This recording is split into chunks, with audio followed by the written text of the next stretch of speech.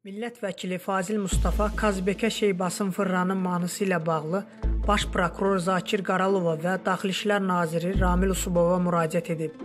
Publikas xəbər verir ki, bu barədə millət vəkili Facebookda məlumat verib. Deputat mahnıya video çəkənlərin, narkomaniyanı təbliğ edən meyxananı səsləndirənlərin və mahnıya rəqs edənlərin məsuliyyətə cəlb edilməsi ilə bağlı çağırış edib. Bu adamların davranışı birbaşa cinayətə çağırışdır.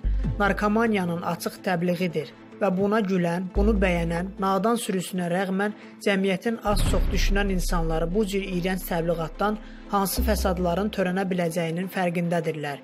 Kim bu videonu bəyənmişsə, Allah mütləq onların ocağını nəşələndirəcək. Kazbek dolduranlarla fərəhləndirəcək.